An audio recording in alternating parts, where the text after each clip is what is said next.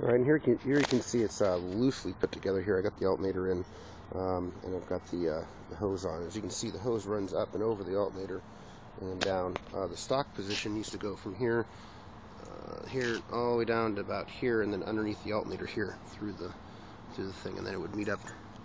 You can see the bottom of the tube right there. It would meet up right there. Uh, since it's a TII motor, as I said, it's got the block here. So, um, but that looks like it's going to work. Uh, I have a little bit of clearance for a bolt. Um, not much though. I actually had to grind some of the material out to uh, make clearance for it. So uh, probably touch up the file and clean up the edges so they're rounded. So, but uh, that's a, uh, TII pump, water pump conversion on a regular 2002 motor, or even, well, maybe not a 320, but a 2002 motor. So, thanks for watching.